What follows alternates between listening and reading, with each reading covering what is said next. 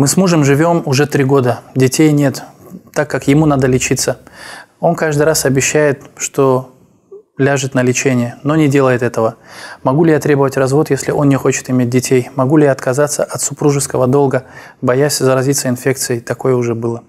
Бисмиллах, альхамдулиллах, вассалату вассаламу аля расулиллах. Что, а, если дети не имеют, имеют ли право подать на развод? Мы этот вопрос ответили, разобрали. Сказали, что более правильно мнение, что может женщина подать на развод, требует развод, если э, муж болеет, и как он, она говорит, еще на лечение тоже не идет.